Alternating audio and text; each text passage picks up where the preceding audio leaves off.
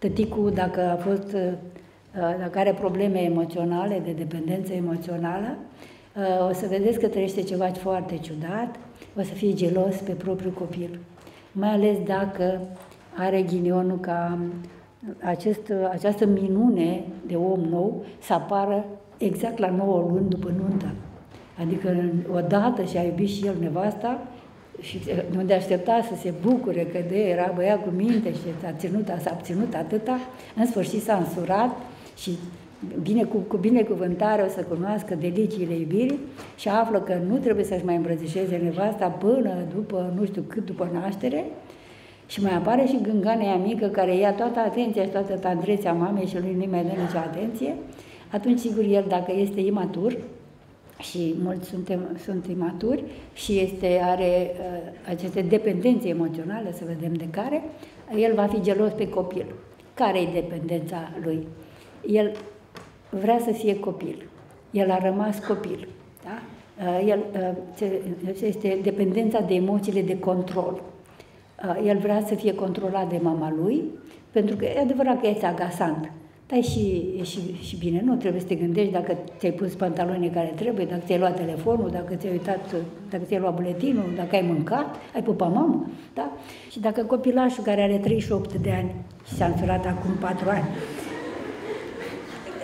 așa, el așteaptă ca soția lui să-l întrebe, ai păpat, tati? Da? da? Și sigur că te supără când îi răspunde mai și mai puțin tandru.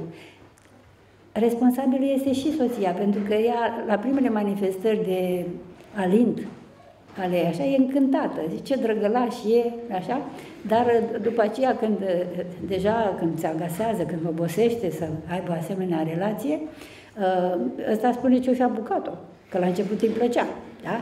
Și nu, la început, chiar dacă nu îi plăcea, dacă și mireasa, dacă și fata e dependentă emoțional, Adică e dependentă de frica de a rămâne nemăritată. Asta este tot o dependență emoțională. Da? Atâta ni s-a băgat în cap că nu ești om dacă nu te măriți. Da? Și că nu e, că nu e bine să fii necăsătorită și așa, și trebuie neapărat să te măriți, așa? încât ea zice, ăsta e cam mototol, dar n-am ce face, altul nu mai găsesc, că le iau pe ăsta. Și asta este prima parte a prostiei, că partea a doua e și mai gravă, zice, las că-l schimb eu.